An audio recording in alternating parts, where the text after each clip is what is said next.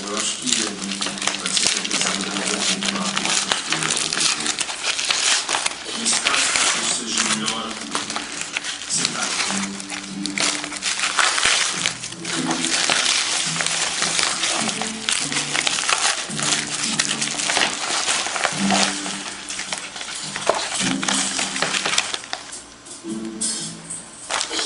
Celeste. Celeste. Celeste. Celeste. Eu não acredito, Lizzie. Nós somos bons aqui juntinhos nessa casa. Guaraci trouxe até flores. E o outro não disse nem que veio.